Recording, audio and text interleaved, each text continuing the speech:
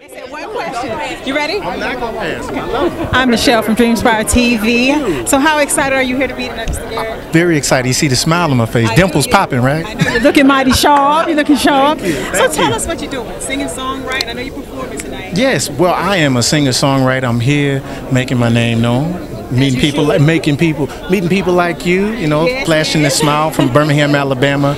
Have been touching the world a long time as a songwriter. But now I want y'all to see my face and hear my voice, you know. Hey, we're excited about Yes, it. yes. Who Who I'm voting for? Who you who you rooting for? Now you gonna put me on the spot like that? No, you you know in these political waters out here, you know you don't pick and choose your side. I'm voting for black music. How about that? I'm honored to vote for black music and to be a part of that legacy and everything I do. Where can people find you? Tell them your platform. AlvinGarrett.com and on all my social media handles is the Alvin Garrett. Go check me out. Thank you so much for stopping by. Thanks for having me. Look at your. Thank you, darling.